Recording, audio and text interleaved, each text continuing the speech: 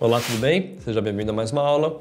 Eu vou mostrar para vocês aqui agora como é que a gente pode fazer para criar um relacionamento entre colunas compostas. O Power BI não permite você criar um relacionamento entre duas colunas diferentes, tá? Você vai ter que concatenar de alguma forma, achar uma chave única para aquelas duas colunas que são compostas. Exemplo. Lembra daquele mesmo caso que a gente resolveu anteriormente, que tinha compras e produtos? É bem semelhante, porém aqui eu adicionei uma variável a mais. Vou mostrar aqui para vocês.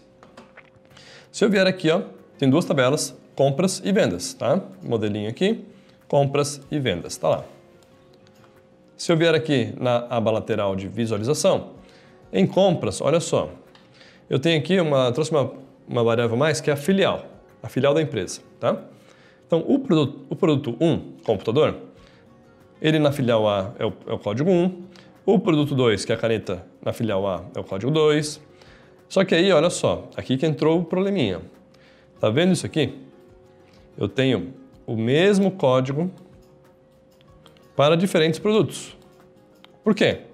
Porque eles estão em diferentes filiais. Tá? Essa aqui que é a diferença. Então eu tenho que, de alguma forma, achar uma chave composta para concatenar filial com produto. Beleza? Como é que eu posso fazer isso?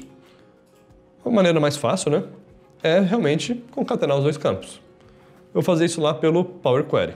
Isso acontece tanto em compras como em vendas, tá? Como em vendas. Vou entrar aqui no editar consultas, então. E vamos lá. Já tenho aqui, inclusive, ó, simplifiquei um pouquinho nossa vida, tá? Para trazer numa dimensão produto já, aqueles campos que são do produto da tabela de vendas e da tabela de compras, tá? Já adiantei um pouquinho. Vou ativar aqui, ó, a tabela produto. Ativei, habilitei a carga, né? E vou falar o seguinte, eu quero criar uma chave aqui que é concatenar filial com produto. Super simples, ó. vou juntar os dois, adicionar coluna e tem aqui a opção de mesclar. Mesclar colunas. Que eu vou botar separado, não, não vou, não vou nem botar nenhum separador, tá? Vou chamar isso aqui de SK, tá? De Surrogate Key, que é geralmente o termo que é utilizado lá quando a gente cria um Data House, né?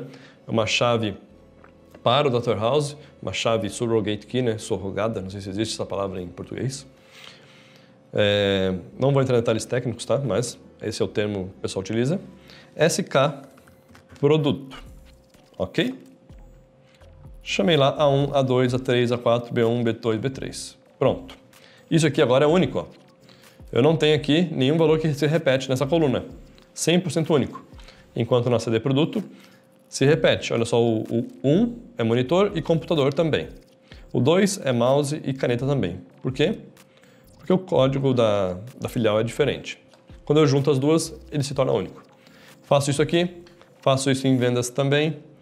Vamos lá, filial e produto. Claro, tem que manter a mesma ordem, né? Filial na frente, produto depois. SK produto, deixa eu copiar esse texto, ok.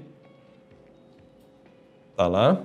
Lembra o que a gente pode fazer aqui, nessa tabela de, de vendas? Posso eliminar minha coluna produto, porque eu já tenho lá na dimensão produto. E se eu quiser também, posso eliminar CD filial e CD produto. Só preciso da chave SK aqui, tá? nas fatos. Ah, mas se eu eliminar aqui não vai estragar o meu passo anterior? Não. Isso que é o legal também do Power Query. Você, é diferente do Excel, né? Você já usou aqui, você já criou sua coluna. Então tá salvo lá para você ó, o passo onde você criou a coluna mesclada. Posso vir aqui e deletar sem problema nenhum, tá bom? Porque quando eu voltar lá, ó, de novo, né? Quando eu voltar aqui, ó, as colunas que eu deletei na sequência existiam lá, só agora que não existem mais. Em compras, mesma coisa, mesclar, SK produto, ok, tá lá. Vou deletar tudo isso aqui. Vou dar um fechar e aplicar. Na dimensão é legal ter, tá? O código da filial e o código do produto. Geralmente a gente deixa os códigos do banco aqui nas, nas dimensões, tá? Junto com a SK. Página inicial, fechar e aplicar. Vamos ver. Feito, carregou. Vou lá em relacionamentos e ele já criou automático para gente pelo nome da coluna. Bem legal, tá? Antes a gente não conseguiria criar, né, porque tinha um, era uma coluna composta. Está lá SK com SK.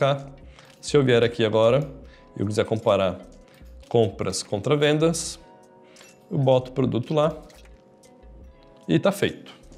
Beleza? Fica a dica então de como é que a gente trabalha com colunas compostas para criar relacionamentos. Grande abraço, vejo você na próxima aula.